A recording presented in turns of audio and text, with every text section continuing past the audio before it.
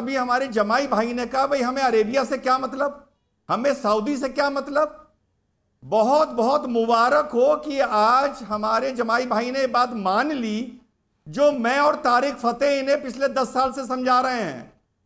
यार, जब हम तुम्हारे शजरे की बात करते हैं, तुम तुम शजरा ले जाके मक्का से जोड़ देते हो, शजरा ले जाके मदीने से जोड़ देते हो, कहते हो कि हम ऊँट पे बैठ के हिंदुस्तान आए थे।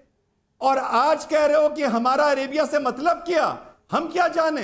भाई वाह, अपने आप को आज तक आधा हिंदुस्तानी मानते हो, आधा अरबी मानते हो। और आज कह रहे हो कि हमारा अरब से मतलब क्या? कैसे नहीं तुम्हारा अरब से मतलब? अगर अरब से मतलब नहीं है तो कहो हमारे पूर्वज हिंदुस्तान के थे तो कहो हमारे पूर्वज हिंदू थे। बोलो, जवाब दो इस बात का। अरे भाई तो कैसे जाहिल किस्म के आदमी हैं आप? किस भारतीय ने कभी कहा है कि उनका पूर्वज अरब से था? हे अजमी हैं। अजमी और अरबी में बहुत फ़र्क है और हम अजम के लोग हैं। इसी मुल्क में पैदा हुए। और यहीं के उलमा इकराम और औलिया इकराम ने जो है दीन को तबलीग की है? क्या पता है आपके आपको? पूर्वज हिंदू अरे थे या नहीं थे? तो आए ना। आपके पूर्वज हिंदू थे या नहीं थे?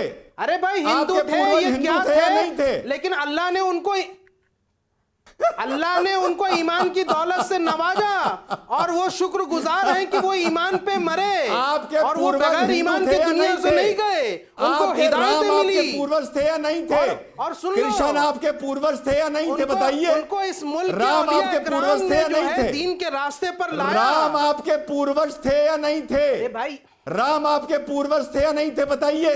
अरे भाई इस मुल्क में जो रहा है वो इस मुल्क के इतिहास के साथ जुड़ा है इस मुल्क के इतिहास के साथ जुड़ा राम है आपके कोई भी भारत का मुसलमान अपने बताइए। आप को अरबी नहीं राम आपके पूर्वज थे या आप नहीं थे जैसे बताइए। बेवकूफ़ लोग जो सरकार की दलाली करने के लिए यहाँ। पहुँचते हैं वो मुसलमानों पे राम आपके पूर्वज थे या सीधे नहीं थे आरोप बताइए। और आप जैसे लोगों को कुछ नहीं मिलने वाला।